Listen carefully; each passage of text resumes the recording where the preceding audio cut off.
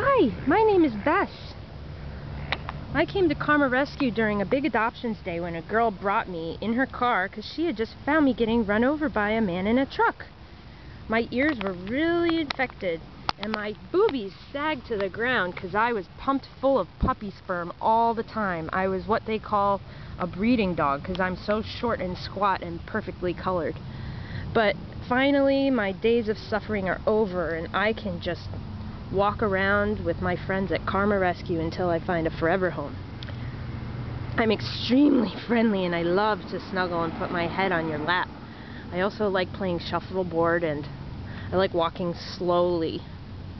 Um, things I don't like include chocolate, um, expired uh, gift certificates, and bad manicures but I do enjoy a lot of things, but you have to adopt me to find out.